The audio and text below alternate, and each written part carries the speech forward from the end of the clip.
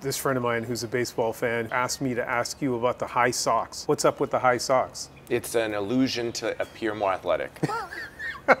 truly, No. truly, truly. I want to. Um, I was telling somebody today, my hair started thinning when I was like 30, and I shaved my head because I was like, I want to play well, and I don't ever want to look at my hair and have that tell me that I'm getting older.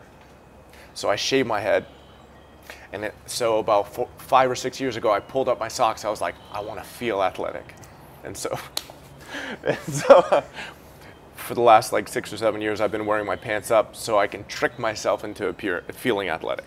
Are you poking fun at me? Like I, I thought you were going to say. I You've got you- great hair. No. yeah. But What are you talking about? No, no, but I, I thought that you were going to talk about some throwback player that, and that's why you do No, I'm telling you the truth right, right. now. Yeah. Okay. I don't have much to hide.